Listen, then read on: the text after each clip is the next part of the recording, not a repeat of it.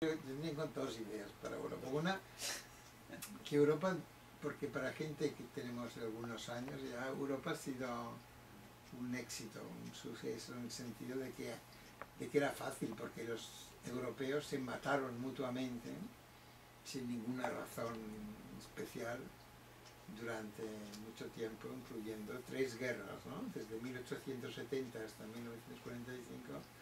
se mataron alemanes y franceses como... Es difícil entender por qué, ¿verdad?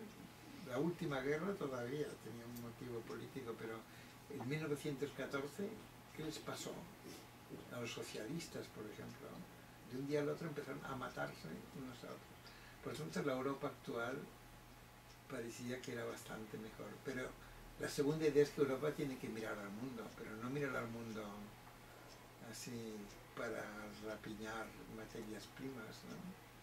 Esto en alemán se llamaba Raubwirtschaft, no la Raubwirtschaft característica europea, sino mirar al mundo de otra manera.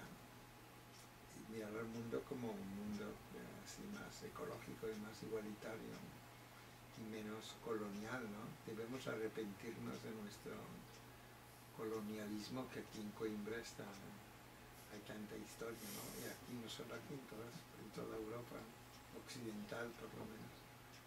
Entonces, bueno, las dos cosas podrían ir juntas, ¿verdad? Una paz interna